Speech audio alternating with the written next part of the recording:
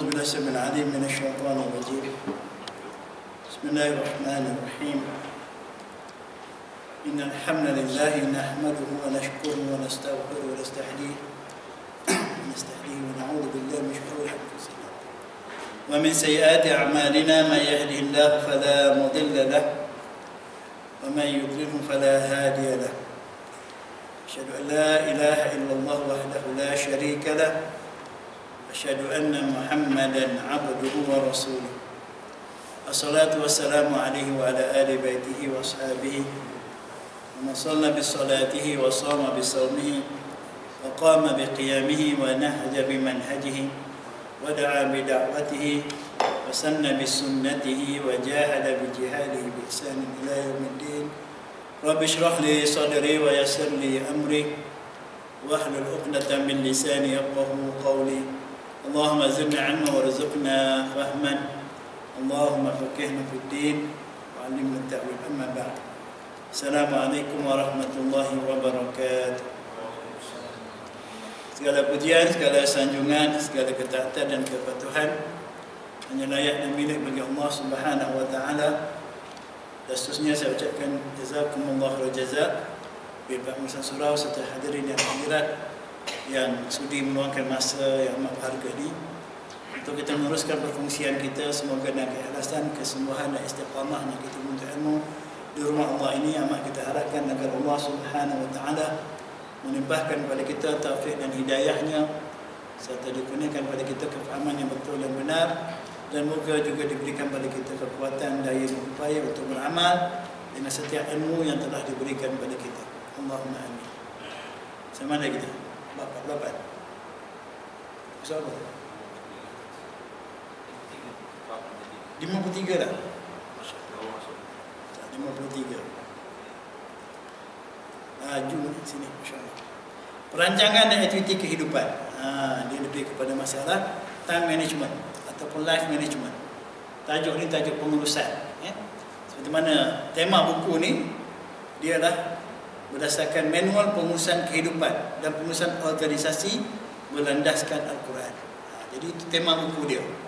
Ya? Nak beri kita input, maklumat, panduan untuk mengurus kehidupan kita secara individu, keluarga ataupun organisasi berdasarkan petunjuk Al-Quran. Bukan idea manusia. Eh? Bukan asal-asal kajian, hasil kajian di makmal dan sebagainya. Tapi berdasarkan petunjuk Al-Quran. Itu sebab buku ini ditulis. Eh? Jadi kita tengok sini. Kita boleh merancang dan menyusun jadual harian kita serta mencatatkannya. Itu biasanya orang yang dikatakan uh, menyai matlamat yang jelas, orang yang ada kesungguhan, dia akan merancang, dia akan catat. Biasanya dulu kita ada diary, sekarang kita ada planner. Dua benda kan? Dulu diary, diary tu dia ada tarikh apa. Sekarang ni planner dia tak ada dia kosong. Kita plan sendiri, buat sendiri. Eh? Ada dua benda. Zaman dulu kita diary. Saya ingat dulu kalau kita dapat dapat diary tu, wah semangat. Ayah saya kerja telekom, ha, dulu ada diary telekom. Oh, kalau dia bagi kat kita tu, seronok. Ha, tapi tak pakai pun. seronok dapat diary. Eh? Sekarang kita ada planner. Eh? Dan kita ada planner bukan tak pakai buku buat apa kan? Handphone kita ada. Eh? Handphone kita, gadget kita dah ada. Mana kemudahan untuk merancang tu ada. Dan biasanya manusia-manusia yang uh, hidupnya complicated ni dengan kerja, dengan kerjaya sebagainya mereka akan buat jadual lah. Perancangan penting sebab yang sering disebutkan seperti yang sering disebutkan kalau kita gagal merancang, kita merancang untuk gagal. Itu kata-kata manusia. Kalau kita gagal merancang, kita merancang untuk gagal. Kalau saya, saya suka kita lihat kenapa kita gagal merancang. Saya suka bahagian pertama. Kenapa kita gagal merancang? Nak bagi tahu saya, nak bagi tahunya sebenarnya manusia dia gagal merancang kerana dia tak dapat petunjuk daripada Allah. Hanya orang yang Allah bagi hidayah kepada dia, bimbingan akan dapat merancang sesuatu yang betul dan tepat. Ha? Itu saja. Kalau tidak manusia memang tak ada kemampuan nak merancang. Kalaupun dia merancang tanpa petunjuk Allah, jawapannya tak gagal. Kalaupun dia punya perancangan yang hebat tapi tidak berdasarkan petunjuk dari Allah, dia pasti akan gagal. Itu kalau saya lah pribadi kan. Jadi ini petikan daripada kata-kata manusia. Kalau kita gagal merancang, kita merancang untuk gagal. Jadi sebelum nak merancang, kita kena pastikan supaya kita layak menjadi orang yang dapat hidayah daripada Allah SWT. May yu'min billah yahdi qalbah. Sesiapa yang beriman kepada Allah, maka dialah yang akan mendapat petunjuk hidayah ke dalam hatinya daripada Allah SWT.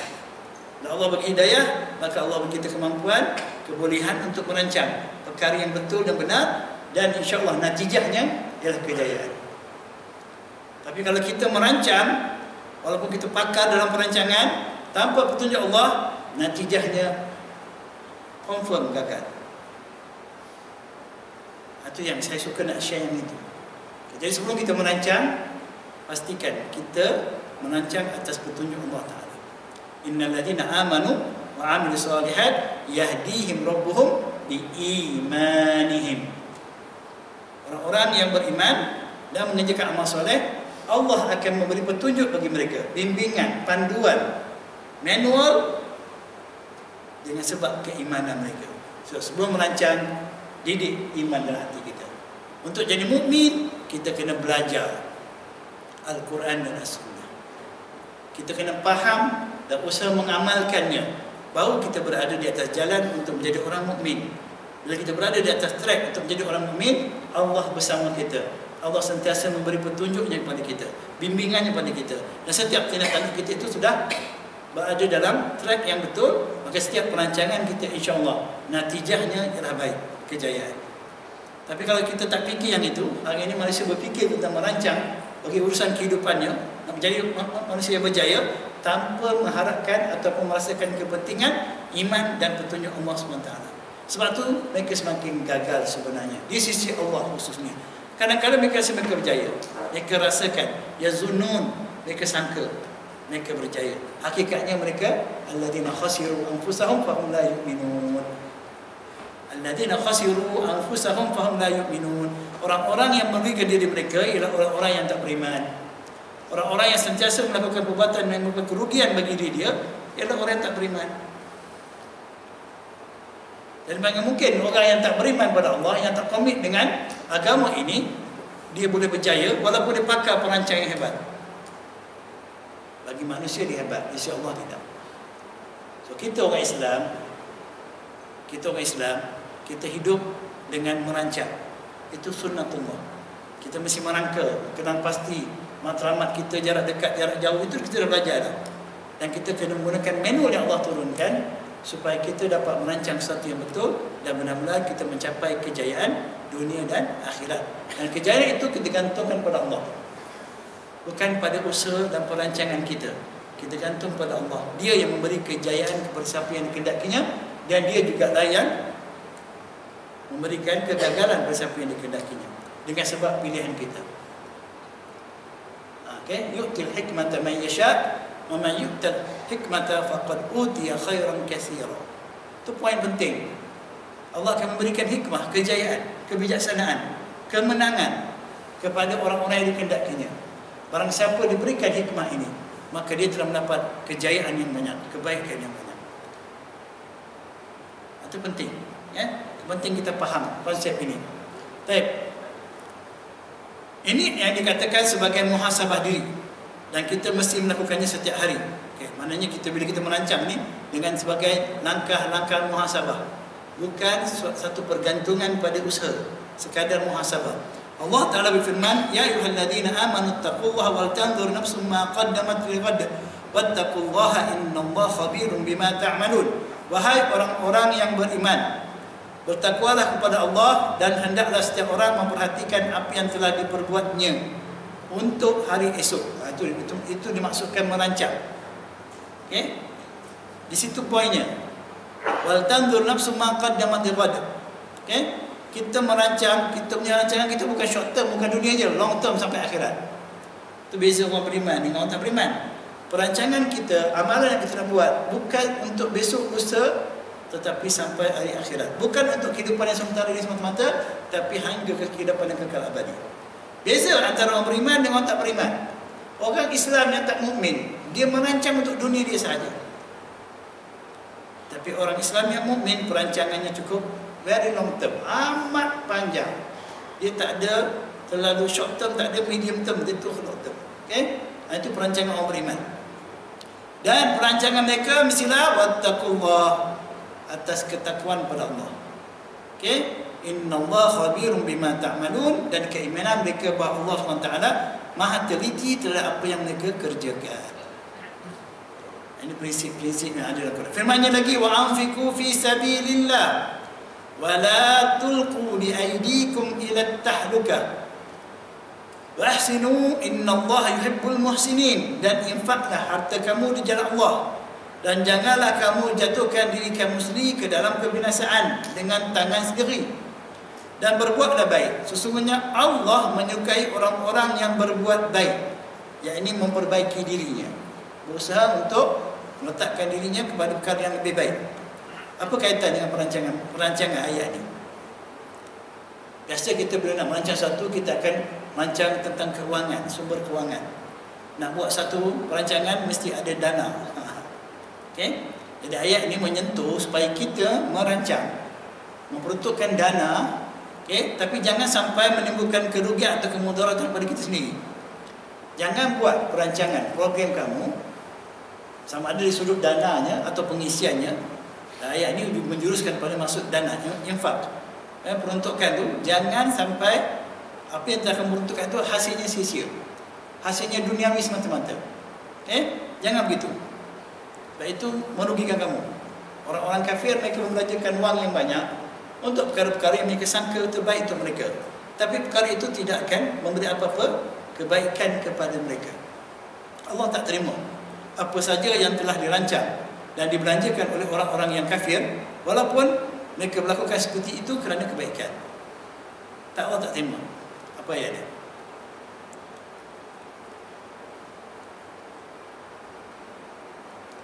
Apa ayat dia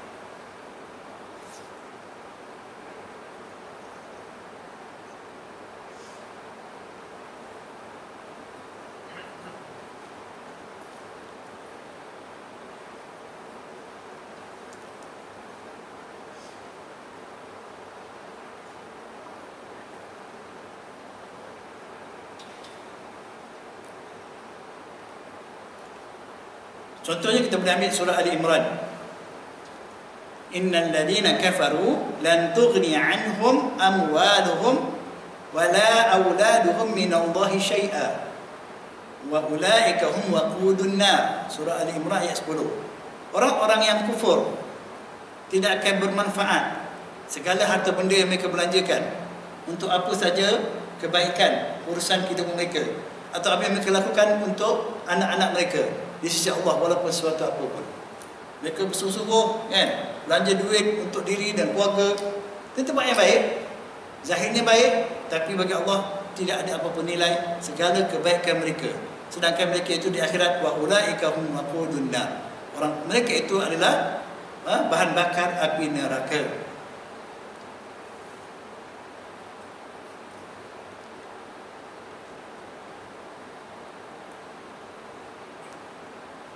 فلا تعجبك أموالهم ولا أولادهم إنما يريد الله ليعذبهم بها في الحياة الدنيا وتزحق أنفسهم وهم كافرون kita tengok orang kafir ni orang bukan Islam mereka merancang baik dan mereka berjaya kumpul duit banyak mereka buat banyak dengan dana mereka bermacam-macam projek yang hebat-hebat Allah kata jangan kamu tertarik hati rasa takjub dengan harta-harta mereka dan anak-anak yang ada pada mereka Sesungguhnya Allah mengedaki dengan apa yang ada pada mereka itu untuk mengazab mereka dengannya dalam kehidupan dunia. Sebenarnya kekayaan, kesenangan yang diperolehi orang-orang yang tak beriman bukan satu nikmat, bahkan itu azab ke atas mereka di dunia lagi. Okey? Wa tazhaqa anfusuhum wa kafirun dan nanti mereka akan mati dalam keadaan kufur supaya mereka mendapat azab yang kekal abadi ke akhirat. Jangan salah faham. Dan surah Taubah pun ayat yang sama, maksudnya sama. Okey? Diulang. Surah Al-Mujadalah ayat yang sama. Allah kata tidak akan bermanfaat harta benda yang dibelanjakan oleh orang-orang kafir. Okey, ada satu lagi ayat.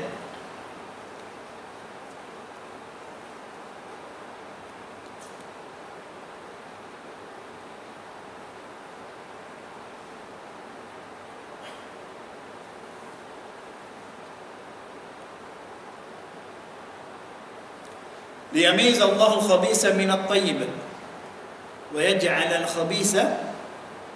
Okey saya baca daripada ayat 36 surah Al-Anfal surah ke-8 innal ladina kafaru yunfikuna amwalahum amwalahum liyasuddu an sabilillah. Fasayunfikunaha thumma takunu alaihim hasratan thumma yughlabun. Walladina kafaru ila jahannama yuhsyarun. Orang-orang kafir pun mereka merancang keuangan mereka, perusahaan mereka. Allah sebut sebenarnya orang-orang kafir itu selalu membelanjakan harta mereka. Tapi tujuan mereka untuk menghalangi manusia daripada jalan Allah. Orang kufur tak akan manusia kan kepada Allah kan. Kemudian Allah kata apa? Maka mereka tetap membelanjakan harta itu. Eh? Dan harta yang mereka belanja itu menyebabkan penyesalan pada mereka di hari akhirat nanti. Mereka dah belanjakan harta yang banyak yang mereka dapat susah payah. Tapi besok di akhirat, apa yang mereka infak itu adalah satu penyesalan bagi mereka. Okay? Itu menyebabkan penyesalan kepada mereka. Tambahan pula mereka dikalahkan. Dan ingatlah, orang-orang kafir itu akhirnya dihimpunkan dalam neraka jahanam. So kita ni belajar. Sekarang ni kita ada banyak peluang nak belajar tentang hak apa wealth management, pengurusan kekayaan, harta benda. Okay? Pengurusan itu begini. Pastikan tuan yang kita belajar itu pengurusan berdasarkan petunjuk Allah Taala, bukan berdasarkan akal manusia. Kalau tidak jadi macam ni. Kebanyakan yang kita belajar tu pengurusan semata-mata untuk dunia kita. Okay? Mencari kekayaan untuk kesenangan hidup. Dan nanti apa yang kita buat, apa yang kita rancang, apa yang kita belanjakan itu perkara yang menyebabkan penyesalan yang tidak berguna di akhirat nanti. So berhati-hati. Tapi kita suka sangat. Terlalu banyak ha? pengurusan keuangan, kekayaan, harta benda yang bukan berdasarkan petunjuk Allah Subhanahu Wa Taala.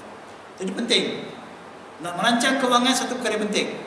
Hanya orang beriman saja akan merancang menggunakan uang harta benda yang Allah bagi kepada mereka ke jalan yang membawa manfaat kepada mereka dunia dan akhirat sebab mereka mendapat hidayah daripada Allah Subhanahu wa taala. Dan Allah sentiasa suruh kita wa ahsinu buat baik. Sentiasa buat kebaikan. Apa saja yang kita belanjakan adalah untuk kebaikan.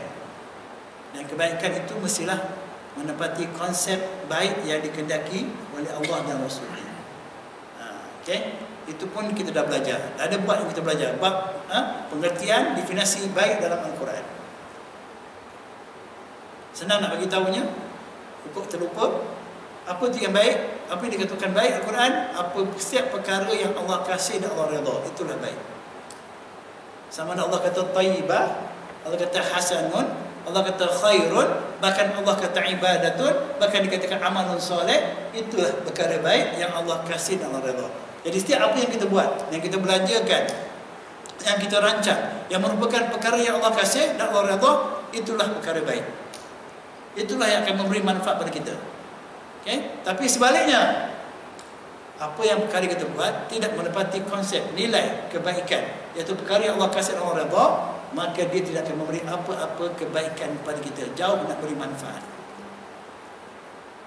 ini yang membezakan kita orang Islam orang beriman dengan orang tak beriman tapi kita hari ini sama masalahnya ni lah kita ambil ilmu tentang pengurusan kehidupan, pengurusan harta benda kita daripada orang-orang yang tidak beriman, orang-orang bukan Islam. Apakah mereka akan membantu kita untuk berada di jalan yang benar? Mereka sendiri pun dalam keadaan sesat tanpa petunjuk Allah. Macam mana mereka boleh tunjuk kita? Kita pergi universiti belajar tentang management, business management, eh, life management, wealth management, health management, management, macam-macam pengurusan anak-anak kita belajar beribu bayar hutang. Betul?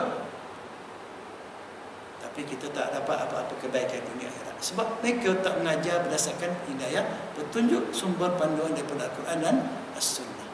Tapi kita tak rasa bersalah. Tak mahu tak? Anak saya Ustaz, dia belajar business management. Ada belajar health management. Macam-macam sekarang ada. ada ada industrial management ada. Eh, ada macam-macam. Semuanya management lah. Dia sebut management ni hebat lah orang yang pandai mengurus ya tapi benarkah mereka hebat? Di sisi Allah Ta'ala. Adakah apa yang mereka itu ilmu itu mendekatkan mereka kepada Allah atau menjauhkan mereka daripada petunjuk Allah SWT berhabis masa dan waktu wang ringgit dibelanjakan untuk perkara yang tak bermanfaat bagi mereka dan tidak diterima oleh Allah Subhanahu Jangan terlalu teruja dengan orang kafir tadi. Ha, itu Allah kata wala tu'ajibka. Jangan takjub, jangan tarik mereka. Tak ada apa-apa kebaikan kepada mereka.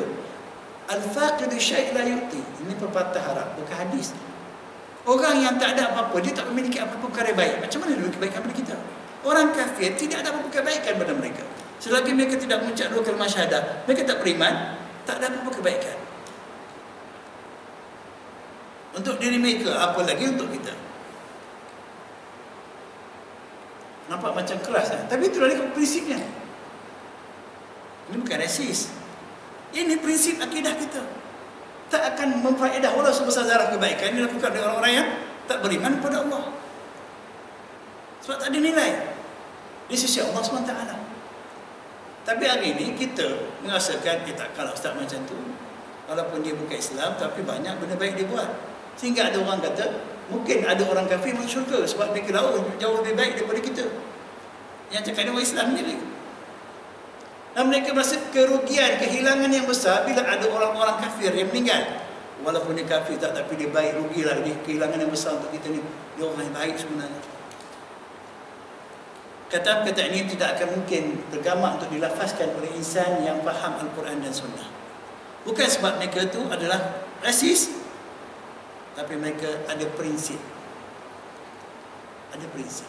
Tuan-tuan, orang-orang di sebelah sana, orang kafir itu pun sendiri, mereka tak rasa apa daripada kita baik untuk mereka. Sebab itu mereka tidak akan mengikut kita. Kecuali dengan petunjuk daripada Allah Ta'ala.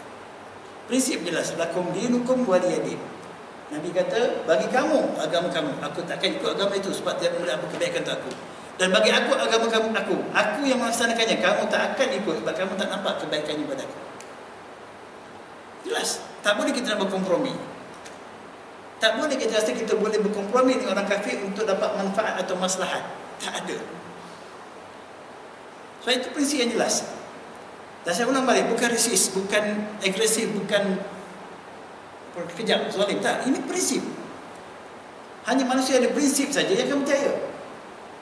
Kita hilang prinsip, kita hilang hikmah. Orang Islam sudah hilang hikmah, sedangkan hikmah itu milik orang Islam. Hikmah ini perkara yang baik yang membantu kita menjadi manusia terbaik ini ada milik kita. Tapi kita sendiri buang hikmah tersebut, kita mencari di tempat yang tak mungkin kita jumpa. Kita cari di kalangan orang-orang yang tak beriman. Kita cari mereka daripada orang-orang kafir. Mana jumpa hikmah tersebut? Mereka tak ada hikmah. Jelas tuan-tuan. Nampak berat ni semua hari ni dah tak ramai serius semua kan. Tapi memang serius lah benda ni. Tajuk ni serius. Siapa yang merancang dengan petunjuk Allah Ta'ala Dia akan ha, dapat mencapai kejayaan yang sebenarnya. Kena buat. Ya Allah berilah petunjukmu pada aku supaya aku dapat merancang melakukan perkara yang terbaik yang kamu kasih dan kamu redha. Cakap dengan Allah minta ya Allah bantulah aku berikan hidayahmu padaku agar aku aku dapat merancang perkara yang terbaik yang kamu kasih dan kamu redha dalam kehidupanku diriku keluargaku saudara-saudaraku jangan malu-malu minta kepada Allah itu keperluan kita tapi kita jangan minta tentu kalau nak minta kepada Allah anak saya nak masuk universiti ya Allah nak ambil manajemen itu, manajemen ini, bantulah dia Allah. Ustaz, tolong Ustaz, anak saya masuk universiti, biar dia lulus dapat. Hai, kenapa kita minta macam tu? Kadang-kadang rasa sedih nak, nak mengaminkan itu. Kalau orang faham tu rasa sedih. Ha? Siap buat kenduri, buat selamat anak masuk universiti. Syukur. Pasal apa dia begini belajar. Apa, apa yang dia belajar? Ilmu-ilmu pengurusan kehidupan yang tidak berdasarkan petunjuk Allah Subhanahu Wa Taala. Adakah ilmu itu akan memberi manfaat? Tidak, minta maaf. Untuk dunia mungkin ya. Itu pun karena ya sebenarnya. Bila kita mengurus mengharapkan habuan duniawi dengan ilmu begitu sebenarnya ramai yang tahu. Anak saya dah 2 tahun Ustaz BA management ya kerja tak dapat lagi. Universiti kata keluar mesti dapat kerja. Kata bidang ni hot. Orang perlukan. Oh, bidang ni memang hot ni. PTPN kena bayar lah Dia tak kerja lagi Itu saya kata Fata Mungkarna Mimpi di siang hari Mimpi yang ngeri Tapi kita tetap juga mengharunginya Sebab semua orang begitu Anak orang lain pun tak kerja Anak orang lain pun Keluar universiti Keluar college Ada PA Tengah buat master Kenapa buat master? Tak ada kerja Ustaz buat master tu Eh buat master ada kerja? Tak ada juga Kita dah ada ramai orang ada master yang tak ada kerja saat lagi yang tak ada master tu tak pernah buat PhD dulu. Kita akan lahir ramai orang ada PhD tak kerja. Dan kita rela dia duduk dalam keadaan itu tanpa petunjuk Allah Subhanahu Wa Taala. Wallahu a'lam. Yang berasa hati tapi itu benar. Okey, itu benar. Baik. Adab dalam merancang. Ha, ini adab paling mudah lah. Ini prinsip-prinsip yang mudah yang kita kadang-kadang yang muda macam ni pun kita tak ambil berat. Okey? Adab dalam merancang. Kesat 387 tu. Pertama membaca ta'awuz. A'udzu billahi minasyaitonir rajim. Setakat baca tak faham. Tak ada kesan juga. Bukan tak tahu baca auzubillah kan? Semua orang tahu. Tapi apa kesan dia? Macam mana nak berkesan pada kita? Sebab tu kita kena tadabbur. Isti'azah tu apa dia?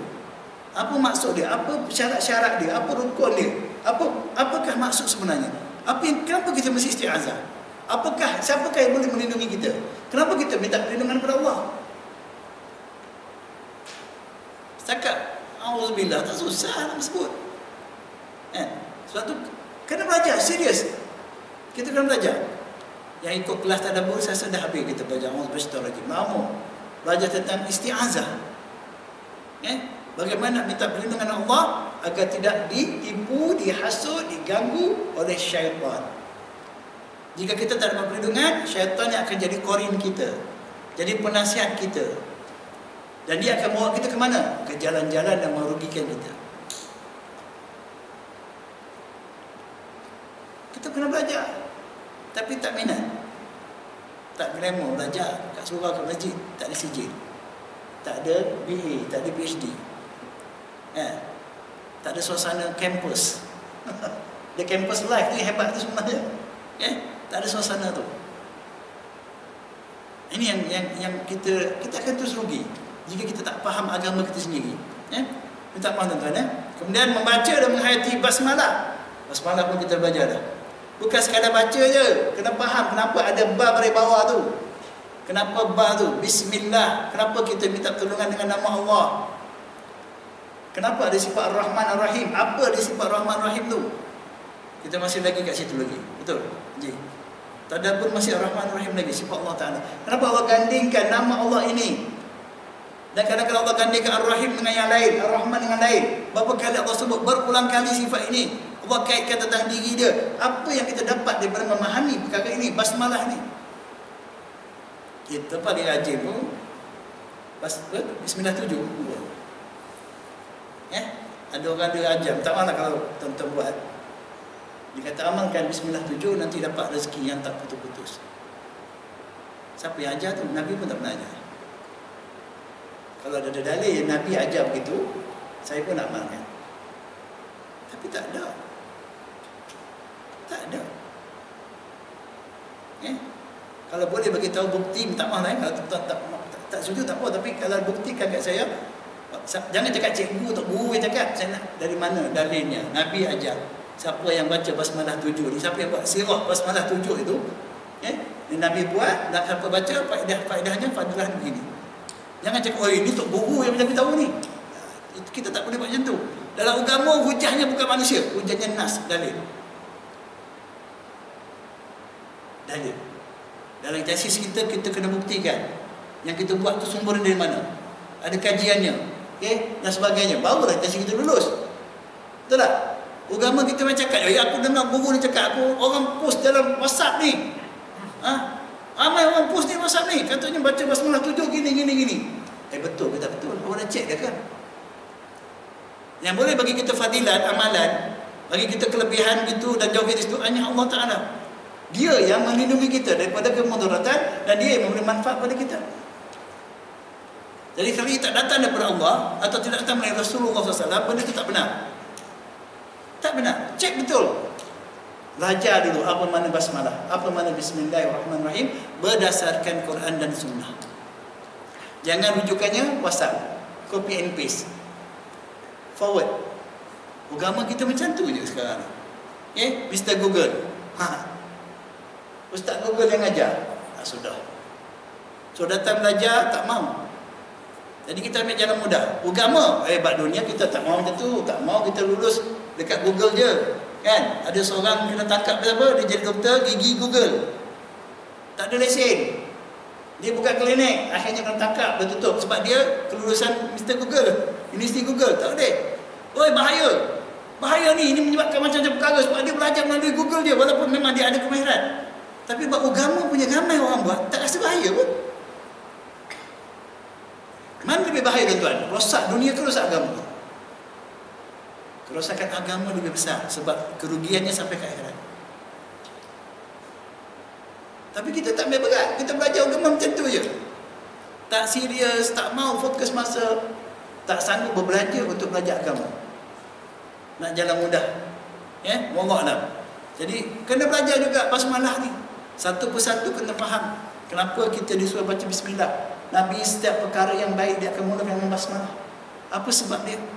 Jangan buat cerita dongeng pula pasal basmalah ni.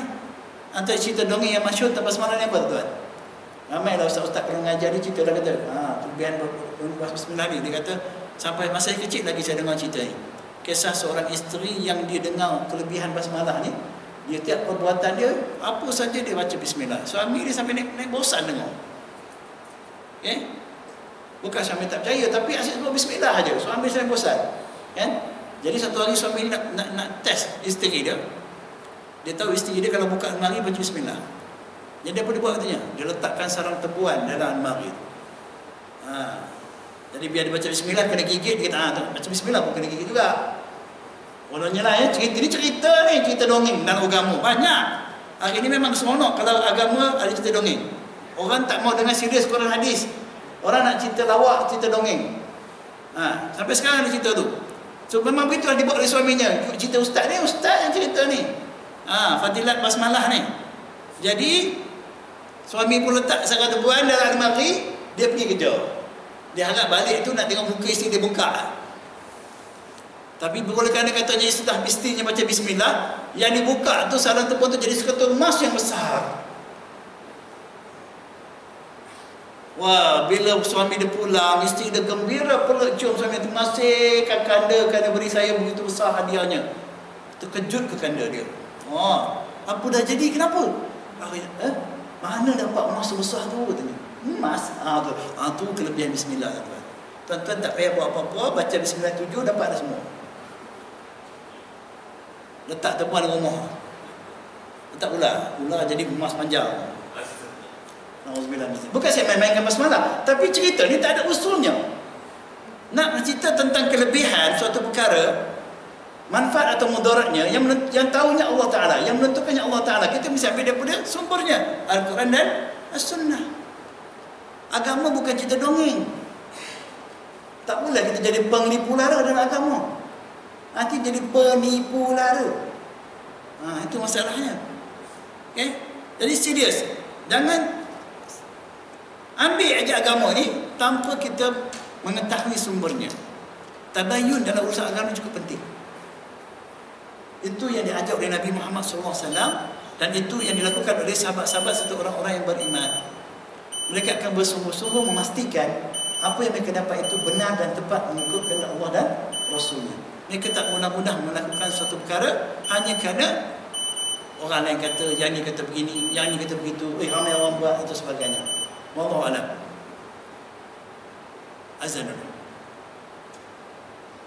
Ada muazzin. Kita azan dulu.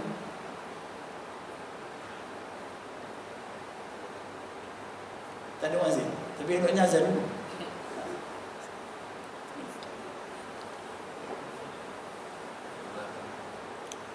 Jalan Allah Okey. Yang ketiga meluruskan niat. Meluruskan niat, memurnikan niat ataupun ikhlas. Saya pun dah banyak kali sebut ikhlas. Malam pun mengajar sebut ikhlas. Okey. Niat ni selalu kaitan dengan ikhlas. Ya? Bila sebut niat tu ikhlas lillahi taala. Membetulkan salah faham tentang ikhlas ni penting. Ada berbagai berbagai takrif yang dipahami dan diamalkan oleh orang Islam hari ini berkaitan dengan ikhlas. Dan kebanyakannya tidak menepati konsep sebenar ikhlas.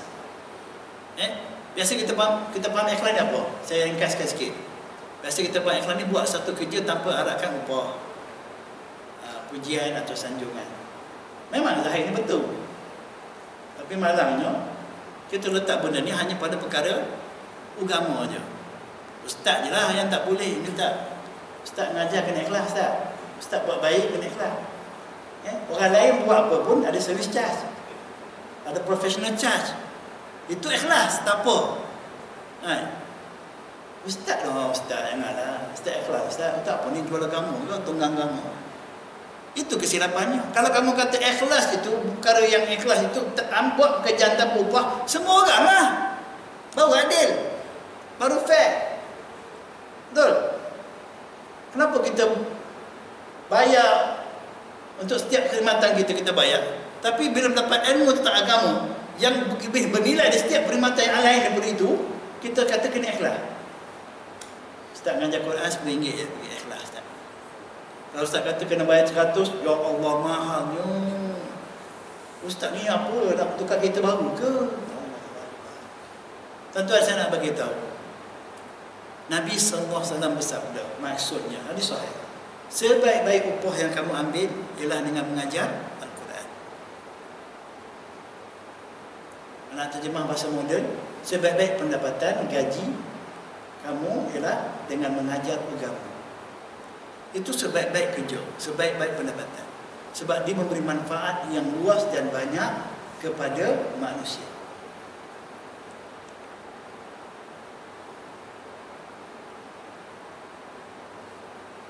Jadi kalau kita mengajar agama, tidak ada larangan kita mengambil upah. Bahkan upah itu upah yang terbaik.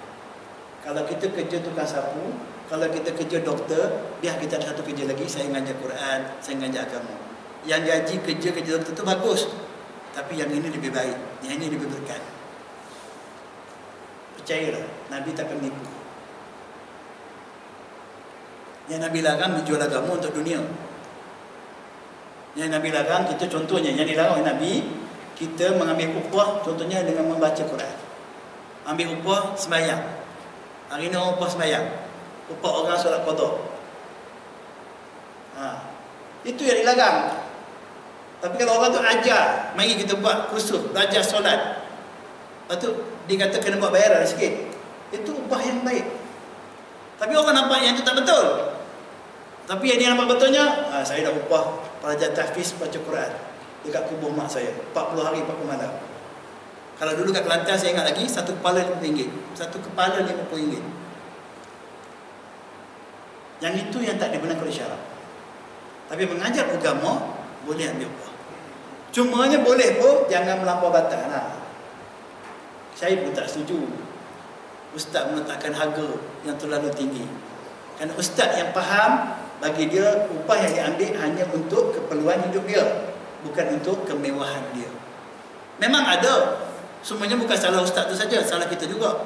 Kita yang sekarang suka melahirkan ustaz-ustaz selebriti. Ustaz-ustaz Soho, Tubik TV. Ya, jadi memang harga mereka lain. Kita yang nak mereka datang mengajar. Bila mereka datang, baru ramai orang datang. Kalau saya datang mengajar, mana orang? Mana orang? Ustaz ni macam tengok TV tapi bukan dia. CCTV lah kadang-kadang. Tapi TV tak ada. Ustaz ni bukan PU. Bukan al itu al ini. Jadi tak kena. Tapi kalau PU nak jemput dia, ada rate harga dia. Nanti dia nak buat rate jusa, rate itu, rate ni. Dia pun nak. Itu yang berlaku sekarang ni. Kita yang menyebabkan mereka jadi gitu. Agama jadi profession. Kita tak setuju yang itu. Tapi tak salah guru agama, guru Quran mengambil upah.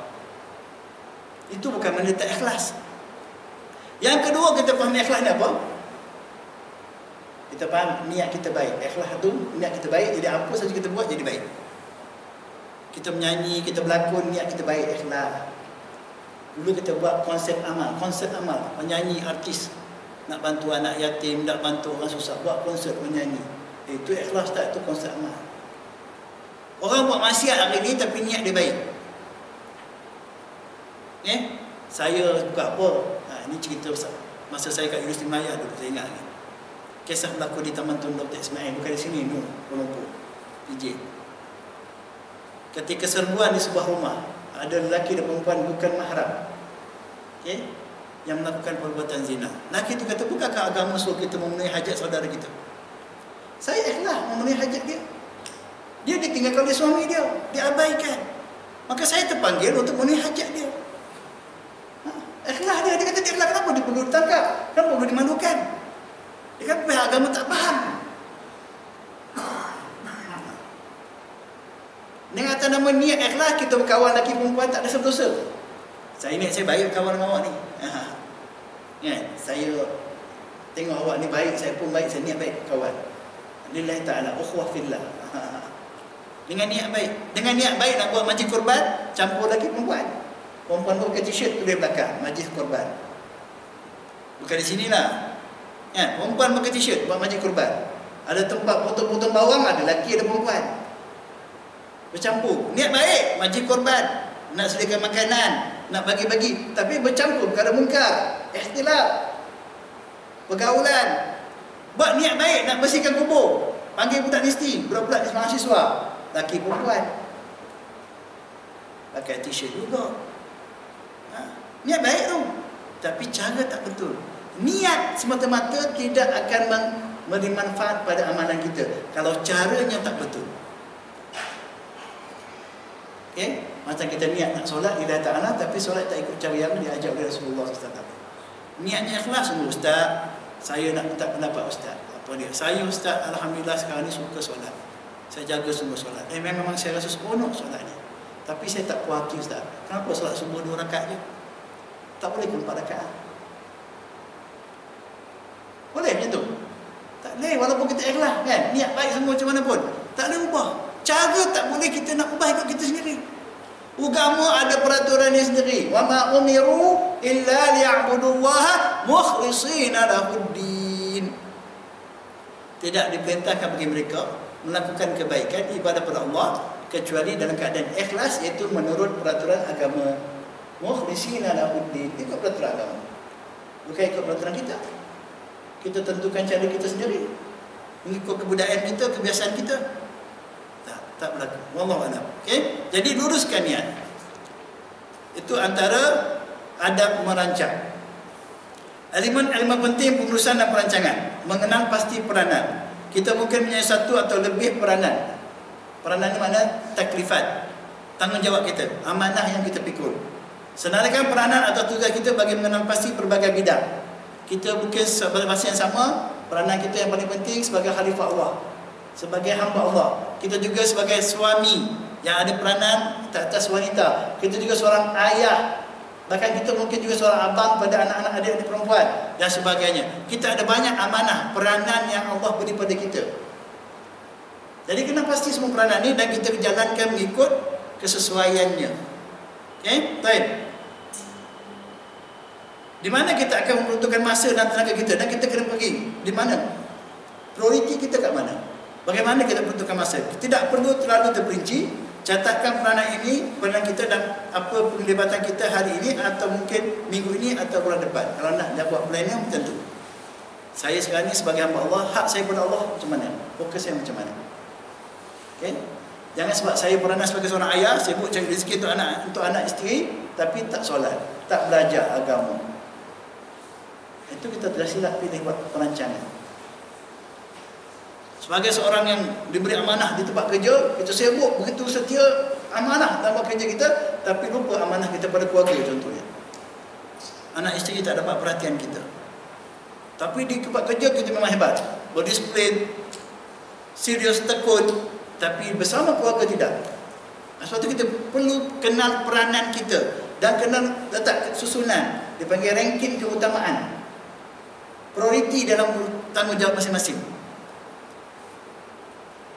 Semua takkan kita dapat kalau kita tak dapat hikmah daripada Allah, tak dapat hidayah dia. Okey? Contoh, ha, tadi sebut hamba Allah, peranan sebagai bapa, ibu atau suami, pengurus syarikat, penasihat sekolah, penulis, imam, penceramah, masing-masing ada berbagai-bagai. Pengurusi mak tahfiz, ada berbagai macam. Pengurusi masjid, jawatan kuasa masjid, ha? apa saja.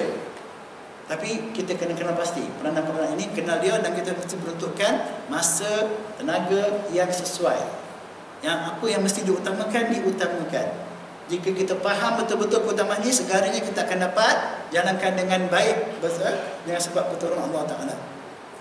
Kedua kita kena kena pasti aktiviti-aktiviti penting yang perlu kita lakukan sama ada harian, mingguan, bulan dan tahunan. Apa dia perkara yang paling penting yang kita kena dahulukan? sebagai orang beriman contohnya dalam jadual harian dia perkara paling prioriti ialah dapat solat berjemaah solat fardu ber kalau kita gagal letak itu sebagai aktiviti utama kita segalanya gagal rancanglah macam mana pun kita gagal walaupun kita rasa kita berjaya saya tak pernah lewat sampai tempat kerja saya siap kerja on the, on the time. Tak pernah tangguh-tangguh. Saya mendapat anugerah pujian. Kerana saya seorang yang pandai merancang segala kerja saya dan berkesan serta berjaya. Tapi bak solat, hmm, maka kita terberdaya saja. Contoh, perkara paling utama dalam hidup kita, aktiviti kita mestilah mentauhidkan Allah. Mengesahkan dia. Ramai orang yang tak berpegang tentang isu tauhid. Dia tak rasa apa kaitan hidup dia dengan tauhid. Dulu dia belajar sifat 20 Tapi tak tak mana sifat tu sampai kamu tak tahu Kat mana tak? Nak diguna apa? Wujud kidam bapak tu nak tak mana? Wadahnya kudrat iradakan Iradat kalam masa tu kat mana taknya? Dia tak nampak hubungan ni antara aktiviti kehidupan dia dengan tanggungjawab dia mentauhidkan Allah. Kita orang Islam pun tak tahu. Lu belajar akidah tak, buat apa tak guna? Mu belajar akidah tak guna. Betul? Kita berniaga, apa kaedah-kaedah kita? Kan? Kita bekerja makan gaji, apa kaedah-kaedah kita? Bagaimana kita mentauhidkan Allah dalam segala aktiviti hidup kita? Kita tak ambil berat. Okay? Menyusun aktiviti. Di sini kita boleh menetapkan masa, tempo atau hari bagi melaksanakan setiap aktiviti. Ingat, masa, tempo dan hari itu semata-mata perancangan. Jangan terlalu terikat dan terlalu fokus pada hasil kerana dia akan menghasilkan tekanan dan membuat kita risau dan akhirnya tidak kreatif. Kita dah belajar dulu. Orang yang bijak, dia fokus pada kerjanya yang terancang bukan pada hasil.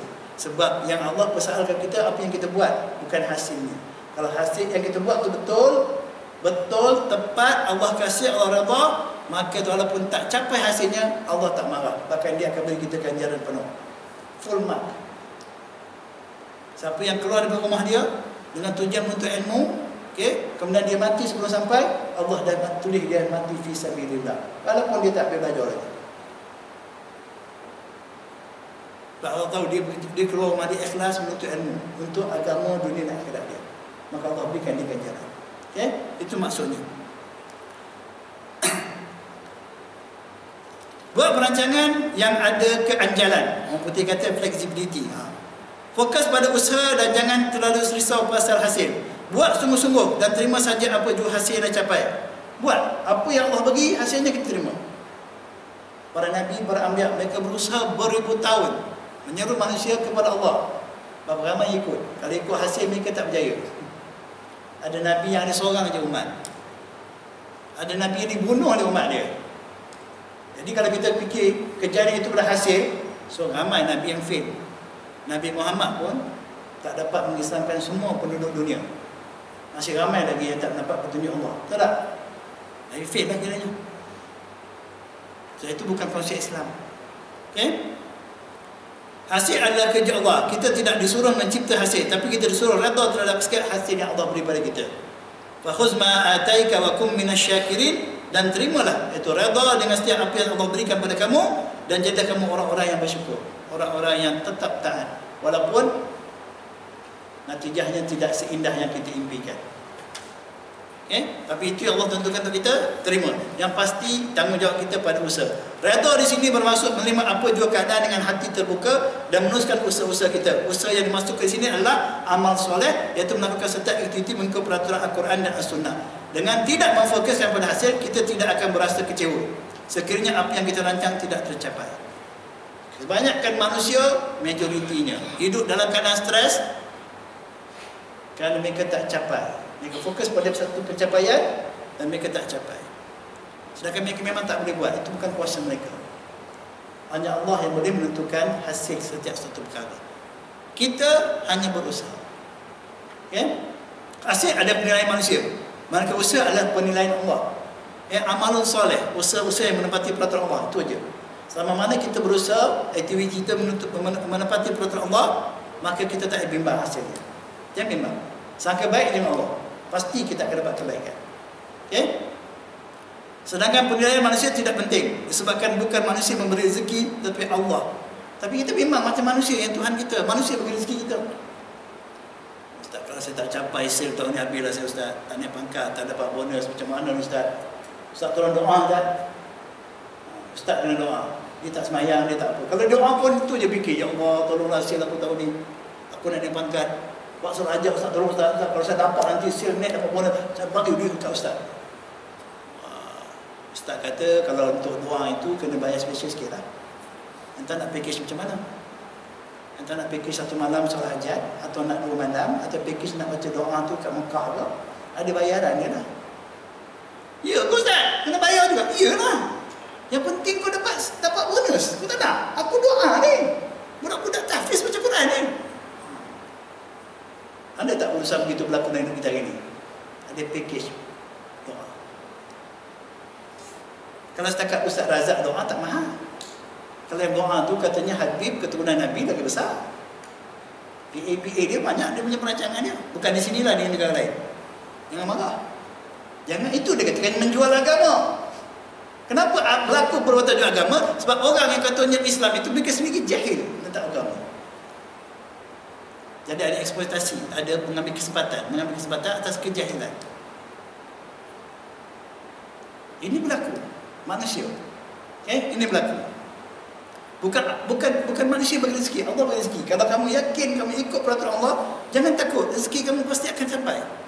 Allah akan bagi rezeki yang terbaik untuk kamu. Tapi gantung pada usaha kamu, walaupun usaha itu bertentangan dengan cara, dengan agama Allah, kamu rasa inilah usaha yang kamu buat, kamu akan dapat hasil usaha kamu, kamu kejar hasil daripada titik puluh kamu, kamu pasti akan kecewa. Stres. Dah dekat, dah layak dah kata kita sampai, orang lain yang dapat. orang lain naik pangkat, orang lain dapat bonus. Aku dah buat sale semua dah. Dia tipu sale itu. Dia main kipas bos dapat naik pangkat. Aku dah sampai sale pun tak dapat. Oh, marah kita. Stres. Ha? Eh, tuan-tuan, benda ni berlaku. Saya yakin tuan-tuan rasa dan telah mengetahuinya. Tapi kita tak kisah aja buat dia. Kita bercerita je stres kita. Ruginya kita orang Islam membiarkan satu kejahatan, keburukan itu berlaku kita berulang kali. Rugi, ya? Allah menilai dengan adil berdasarkan usaha yang mampu dikawal oleh manusia. Allah nilai kita dengan penuh adil, dengan kasih sayang dia, dengan raufun, wadudun, karimun, halimun. Dengan ilmu dia yang tak pernah terlepas satu apa, semua dia tahu tentang kita. Bos kita dia nilai kita mungkin sebagai dia tahu, kalau tak tahu. Tapi Allah dia maha adil, dia maha mengetahui, dia maha penyayang, maha pengasih. Dan dia maha kaya, dia tak akan rugi sikit pun. Dia bagi, kita akan habis. Bos kita nak bagi semua, asyik kau je dapat habis lah pun. Nak juga. Kan? Asyik bagi bonus nanti kau overpaid. Teruk syarikat, tahu syarikat overpaid. Ha, ni MLM selalu berlaku ni overpaid. Tutup syarikat. Pendapatan kurang tapi nak bayar bonus lebih tinggi. Dia nilai dengan nilai mata. Ha, itu berlaku dalam MLM. Allah tak akan berlaku begitu. Maha suci Allah. Apa yang ada pada Allah kekayaan dia tidak akan habis. Rahmat Allah, kurnian Allah cukup banyak. Ada seratus rahmat yang Allah cipta. Satu je yang Allah campak ke dunia ini, semua dapat ni. 99 lagi Allah simpan di akhirat. Jangan khawatir, kamu tak dapat dunia, ada 99 rahmat Allah di akhirat. Itu hanya orang beriman yang rasa nilai dia. Orang tak beriman dia tak sabar. Aku dah usaha, aku dah buat apa Tapi aku dianiaya, aku dizalimi Aku tak dapat Okey, sekarang aku pula buat cara Yang apa sekalipun aku nak dapat juga hak aku ha, Itu main kencing, pancung Dan sebagainya Okey Ini realiti hidup kita Dalam semua dunia ini ada tuan-tuan Dalam semua keadaan ada Bila tak dapat petunjuk Allah Dia sama sahaja Tapi manusia menilai kesadaran tidak adil Menilai berdasarkan hasil yang tak mampu dikawal manusia. Ilmu mereka pun, mereka tak boleh nak menipu sesuatu, mereka tak tahu sepenuhnya. Mereka tak nampak sepenuhnya. Mereka tak tahu. Jadi penilaian mereka pasti tak tepat. Okay, pasti ada silapnya. Dengan persepsi ini, kita akan lebih tenang dan fleksibel dalam mengurus kehidupan kita. Mana kita letak keyakinan, tanggungjawab aku berusaha, ikut apa yang Allah kendaki, hasilnya aku redha. Aku yakin. Pertama sekali, yakin sangka baik dengan Allah. Apa saja Allah bagi pada saya, Setelah saya mentaatinya pasti ada kebaikannya, ada hikmah. Sebab banyak kali hikmah itu kan. Walaupun secara realiti manusia mengharapkan hasil apabila berusaha, sekiranya mereka memfokuskan berusaha yang berbentuk amal soleh, mereka boleh meletakkan kepercayaan yang tinggi kepada Allah bahawa apa itu hasil yang akan diberikan oleh Allah pasti akan memberikan kebaikan kepada mereka untuk jangka masa yang amat panjang. Manusia boleh bagi kita satu manfaat yang terhad, terbatas. Bahawa ini saya dapat suham Allah, pekerja yang terbaik, memang pangkatnya tinggi, selalu dapat anugerah, okay? tapi baru ni dia terpaksa cuti 3 bulan dan terpaksa tambah lagi cuti 3 bulan, orang HR datang jumpa dah. Orang HR, Human Resource, datang ke hospital, kata pihak syarikat sedang mempertimbangkan macam mana keadaan awak sekarang ni, awak dah 3 bulan bayar gaji penuh, 3 bulan lagi gaji separuh, nanti kalau tidak ada masalah, tak boleh sesi lagi kita kena fikir cadangan lain untuk awak. Habis saya ni buat kerja yang terbaik. Saya kalau sehat, saya tak pernah buat kerja yang merugikan syarikat. Saya menyumbang besar untuk eh, keuntungan syarikat. Bila saya dipuji begini, nah, kalau syarikat ni syarikat perniagaan, bukan syarikat kebajikan. Nampak tak nilai manusia? Dan ramai yang kita rasa benda ni, ramai yang kena. Tapi kita tak serik-serik bergantung pada manusia juga. Kita tak serik lupakan Allah Ta'ala. Kita masih bergantung pada manusia. Sebab tu kita kecewa. Stres. Bukan benda dongeng. Ini bukan cerita dongeng. Bukan kisah cerita tadi macam semalam emas tadi. Ini cerita realiti manusia yang bergantung pada makhluk. Kecewa kesudahannya. Pasti kecewa. Firman Allah Ta'ala فَإِذَا عَزَمْتَ فَتَوَكَّلْ عَلَى اللَّهِ إِنَّ اللَّهَ يُحِبُّ الْمُتَوَكِّلِينَ Apabila kamu telah membulatkan tekad usaha kamu telah benar mengikut peraturan Allah maka bertawakallah kepada Allah itu mana azam azam kita tekad kita dalam melaksanakan perintah Allah melakukan aktiviti berdasarkan konsep amal soleh menepati peraturan-peraturan Allah Subhanahu Wa Taala maka serahlah kepada Allah. Okey? Sesungguhnya Allah mencintai orang yang bertawakal. Bila Allah cinta pada kita tuan-tuan, apa yang perlu kita bimbang? Apa yang perlu kita bimbang? Bila kita kekasih Allah, apa perlu kita bimbang? Tapi kita tak rasa hubungan kita dengan Allah sebagai kasih. Sebab tu kita tak rasa apa manfaatnya. Eh, kita tak rasa. Firmannya lagi, "Wa man yattaqillaha yaj'al lahu makhraja wa yarzuqhu min haitsu la yahtasib wa man yatawakkal 'ala Allah fa huwa hasbuh. Inna Allah baligh amri. Qad ja'ala Allah li kulli shay'in qadra." Ini ayat favorite ni. Ayat Quran surah At-Talaq ayat 2 dan 3 bukan ayat 1000 dinar. Ayat ini tak boleh dipanggil ayat 1000 dinar. Rasul tak bagi namanya. Tak ada siapa yang boleh nama pada ayat atau surah kecuali Allah yang akan sampai begitu melalui wahyu. Ya, ini hak milik mutlak Allah SWT Al-Quran ni. Kita tak boleh pandai-pandai ambil ayat Quran buku nama gitu untuk ini begini. Ya, kita sebagai manusia pun, saya sebagai penulis ini hak saya. Apa dia panggil? Hak milik saya tu tak boleh orang kopi semua tu. Apa? hak cipta. Woi, kita manusia ni. Tapi Quran kita suka hati kita je. Bukan Quran tu kalam Allah, hak cipta dia, wahyu dia. Kenapa kita buat-buat pandai-pandai bubuh nama? Bubuh fadilat, bubuh tu suka hati kita je. Sedangkan Nabi pun tak ajar. Tapi kita buat tanpa rasa bersalah. Bab dunia, oh, pergi daftar. Ini hak milik kamu. Pergi daftar dapatkan dia kenapa tak ada istilah dia. Jadi hak kita. Kita punya apa? Trademark kita. Ada istilah dia kan? untuk setiap kita punya produk-produk kita tu bubur. Ha, jadi orang yang tak boleh turi ketiru tu salah. Dia tangkap. Tapi Al-Quran agama Allah ni kita cetak kompak ikut sekati kita ya. ya? besarnya jenayah yang kita buat. Baik Masuk ayat ni wa may yattaqillah yaj'al lahu makhraja. Siapa yang bertakwa pada Allah, baru Allah akan buka dia pintu-pintu kemudahan. Bukan siapa yang gantung ayat ni kat kedai dia. Dia belakang kaunter dia. Ha? atau baca pagi petang buat maksiat. Bukan siapa yang benar-benar bertakwa pada Allah dan Allah berikan dia rezeki dia berjalan yang dia tak sangka. Okey, usahanya kadang-kadang kalau ikut logiknya dia tak dapat macam tu, tapi Allah bagi Dia dah usaha dapat sikit tapi hidup dia senang daripada orang yang berusaha nak dapat banyak tapi tak tenang. Nampak tak beza? Dia kelaju saya. Ada orang dia berusaha dan dia tak dapat apa-apa tapi hati dia tenang. Ada orang berusaha mati-matian, dia dapat banyak tapi hati tak tenang.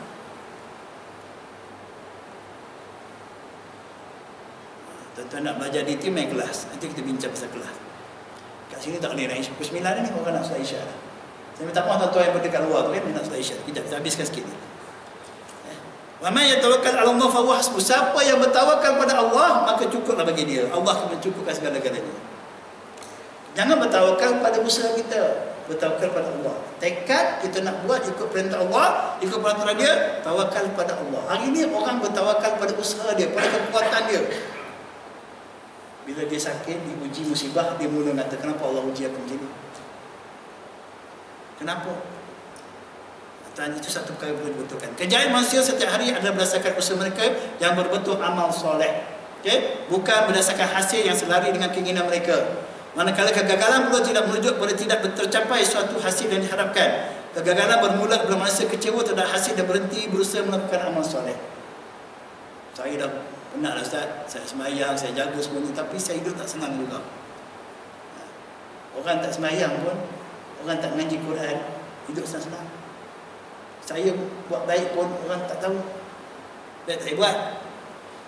Ha, ini berlaku realiti hidup kita.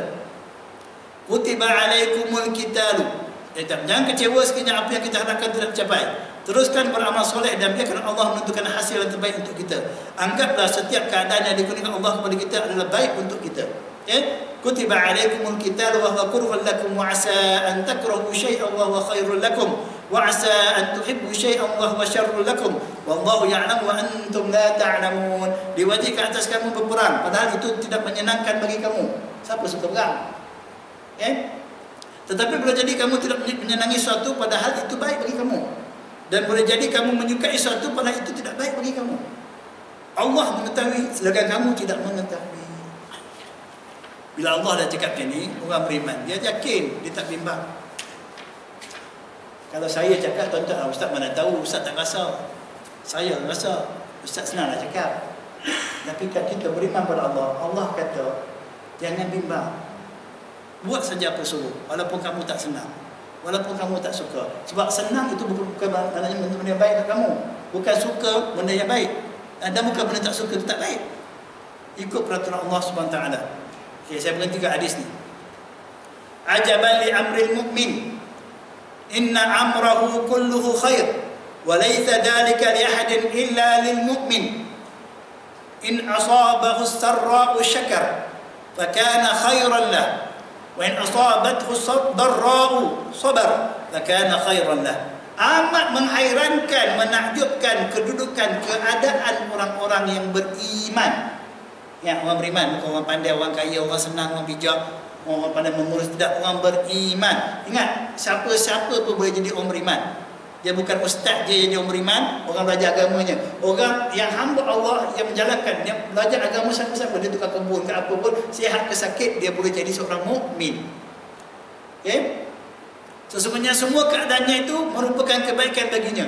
Semua yang berlaku pada diri dia, seorang mukmin itu memberi kebaikan padanya, iaitu memberi dia peluang untuk beramal soleh. Tidak akan berlaku sedemikian kepada seorang kecuali hanya kepada orang mukmin. Okay? apa ia apabila ia mendapat kelapangan hidup kesenangan ia bersyukur. Maka itu menjadi amal soleh. Syukur amal soleh. Dan Allah tambahkan lagi kebaikan pada dia. Maka hal itu adalah kebaikan baginya. Ya dan sedang apabila dia timpa kesukaran yang di bencana atau ujian dia sabar. Sabar itu pun juga amal soleh dengan sebab kesabaran itu pula Allah tolong dia beri petunjuk kepada dia dan sebagainya dan hal ini juga merupakan kebaikan bagi dia itu hebatnya jadi mukmin tapi kita tak rasa penting menjadi seorang mukmin dalam urusan hidup kita. Dalam kerjaya saya sebagai seorang pengurus, seorang manager CEO, sebagai seorang itu dan begini, apa kaitan iman dengan kerja saya? Saya tak pernah belajar untuk dapat pangkat ini, belajar iman. Saya belajar science management Business management Apa lagi? Segala-gala management BA saya tidak ada kaitan dengan iman PhD saya tak ada kaitan dengan tauhid. Kenapa kita jadi macam tu kita kan? Sebab kita tak dapat hikmah daripada Allah SWT Tuan-tuan saya nak iklan sikit InsyaAllah pada 5 hari bulan Oktober Kita ada buat program bedah buku Buku Al-Hikmah. Saya sebut banyak kali hikmah. Penting hikmah ni untuk kita fahami dan hayati. Program itu akan dibuat di masjid ini, di surau ini, di bilik sana pada 5 Oktober pagi. Pukul 9. 9 hingga pukul 1 lah sebelum zuhur insyaAllah. Okay? Program itu akan di sini. Ya. Ada dikenakan yuran. Ikhlas tau. Ikhlas yuran ni. Bukan tak ikhlas. yuran itu untuk apa break and lunch. Okay? Untuk kudapan dan juga untuk makan tengah hari. Okay? Program tu. Buku ini boleh dibeli hari ini pun boleh beli. Nak beli pada hari majlis pun boleh. Okay? Buku ini boleh dibeli bila-bila masa. Okay? Ha, jadi kita akan gunakan buku ini. Dan saya harap yang menyertai gunakan buku ini. Okay? Kalau nak dengar saja pun saya tak ada halang. Tapi yang wajib bayar tu RM15 lah. Okay? Tapi buku ini perlu ada. Uh, saya nak iklan. Tapi kena jujur. Siapa yang benar-benar, benar-benar tak mampu nak beli buku. Saya minta maaf nak cakap ni. Betul-betul tak mampu. PM saya. Uh, personal message. InsyaAllah kita akan usahakan. Yang penting kita belajar. Itu konsep saya. Okay? Kita ada insyaAllah. Ada orang yang boleh bantu. Tapi jujur. Jangan untuk top up kita ada duit. Ha, kan? Untuk internet ada duit. Untuk makan KFC ada duit. McDonald ada duit. Kita tak sanggup korban untuk beli kita. Manfaat yang long term ni. Jujur kepada Allah Ta'ala. Okay? Allah Alam Sawab. Jadi, pada programnya pada 5 Oktober. Hari Sabtu. Pagi di surau ini. Eh, tuan-tuan boleh daftar kepada Encik Isyam dan Haji Umar. Okay? Daftar awal lebih baik supaya kita nak tahu berapa orang yang akan hadir, buat persediaan. Okay? Dan untuk menyediakan buku ini. Siapa yang, saya ulang balik, yang rasa Ustaz memang saya nak belajar, tapi saya tak mampu nak beli buku tu, tuan-tuan PM kat saya. Dapatkan nombor telefon saya daripada Encik Isyam dan Haji Umar. Okay? InsyaAllah. Allah alam bisawab. Saya minta maaf kalau apa yang saya terangkan tu tuan-tuan rasa tak kena, tak sedap, tak sopan. Okay? Keras sangat ke, saya minta maaf banyak-banyak dan saya minta maaf mengambil masa solat isyak tuan-tuan. Yang benar, yang baik itu daripada Allah Ta'ala yang maha bijaksana lagi maha mengetahui. Yang salah dan silap itu atas kelemahan saya sendiri. Saya mohon maaf atas kelemahan tersebut. Wabillahi taufiq wal hidayah. Assalamualaikum warahmatullahi taala wabarakatuh. Subhanallah bihamdika syukur. Syukur.